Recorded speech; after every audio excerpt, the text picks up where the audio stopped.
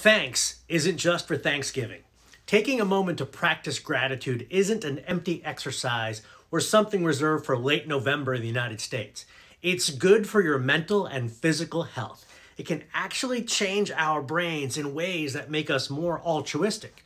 People who do gratitude journaling report experiencing more thankfulness. In a time when there's so much negative around us, finding ways to be more thankful sounds like a worthwhile investment of time to me. And as a leader, when you are less focused on what you're getting from your team and more focused on what you are giving to and doing for your team, you will elevate performance.